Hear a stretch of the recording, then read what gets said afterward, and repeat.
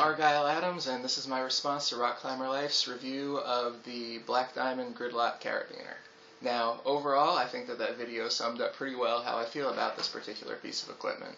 However, as a note of safety, I'd like to say that when using the Gridlock Carabiner with a Grigri, it's very important to only use it on the narrow end of the carabiner.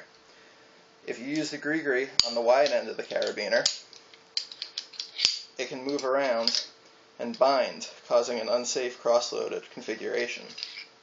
So, when using this carabiner with a Grigri, always put the Grigri on the narrow end for safety.